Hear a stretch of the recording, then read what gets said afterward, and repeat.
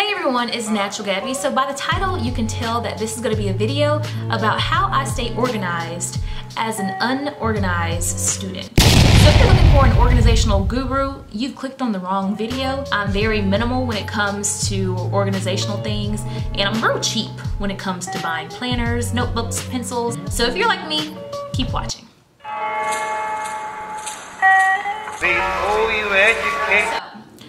In order to stay organized in school, it's really important to find an agenda or planner that fits your needs, whether that's the size of the planner, how the calendar is laid out. So for me, I really enjoy just simple planners like this.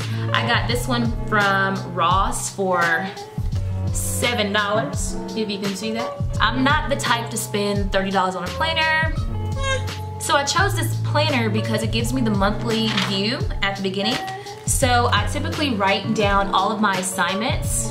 I print out all the syllabi, but I like using multicolored highlighters to keep me organized with each class just so I can have like a really good idea of what's going on, what I need to tackle for the week. There's an area at the bottom where you can write all of your reminders. So in an area like this, I would typically write my to-do list. And I'm such a checklist type girl. I create my checklist weekly. So I write down all of the weekly assignments that I have for that week and I prioritize them based off of their due dates and based off of how much time I would have to do dedicated towards them.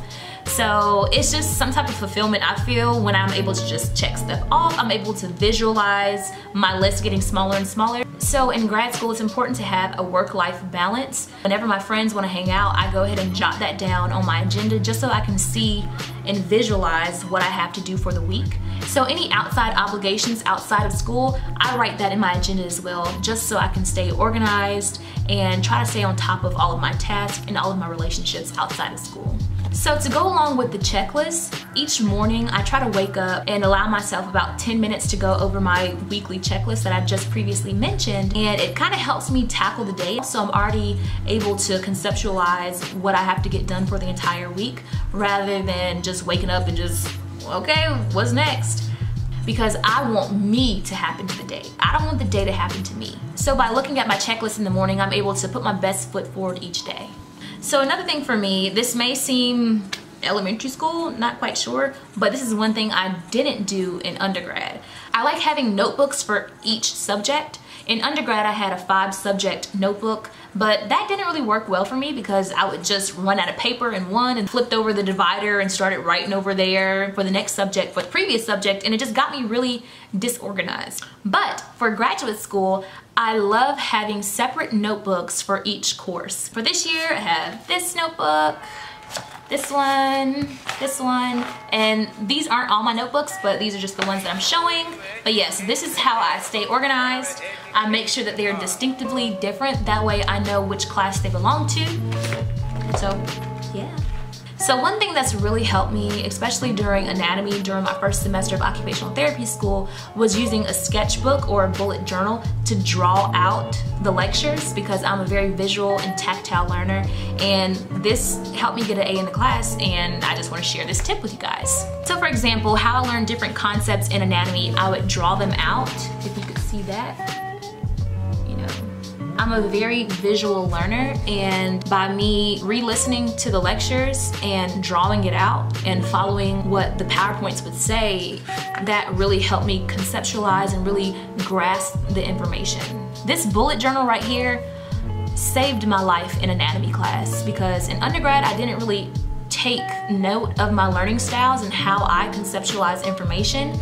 But once I got into graduate school, I learned very quickly that I had to do some self-evaluation and figure out how I learn best. Once I did that self-reflecting and tried to figure out how I learn best, I became a better student. So one other organizational tip that's worked for me in graduate school has been having this external hard drive. There have been so many times where I've had like the regular USB or I've saved all my assignments on my laptop and for some reason it just got completely wiped and just stopped working. So I couldn't handle that heartache anymore, so I went ahead and purchased this $35 external hard drive. It has a warranty and it actually allows you to back up all the information that's on the external hard drive. I like breaking off all of my assignments that I've completed into folders related to the class and the semester. So I would have a summer 2019 folder and then in those folders I would have the classes that I had and in those class folders I would have all the assignments that I had completed or any type of feedback that I've received from the professor. So it's really important, especially in graduate school,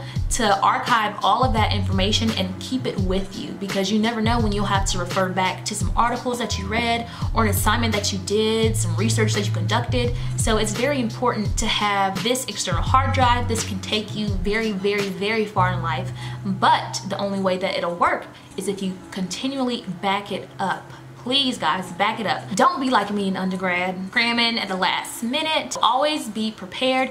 Get you an external hard drive. Yes. So i know some students love post-it notes. They love just to post them all over the place. That gives me anxiety. I can't handle all that just extra stuff just floating around like, oh, what is this? What is this? I can't do it. So I keep all of my to-do list either in my agenda or there's an app on your MacBook, and I believe PCs, it's called Post-it. It's an electric post-it note and it stays on your home screen and you can just type in all your assignments if you choose to do it that way, if you want to keep it digital and save the trees, which, you know. So guys, thank you so much for watching this video. If you're interested in seeing more videos related to my graduate studies, whether it's organizational tips or study tips, let me know down in that comment box down below, okay? Make sure you give it a big thumbs up, like it, comment, subscribe, share it, do all that, and I'll see y'all in the next video. Bye.